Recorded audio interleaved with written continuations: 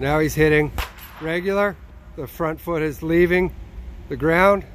He has a small stride. Small stride getting to the same position as the two strike approach. He's able to stay back and he doesn't get out on his front side.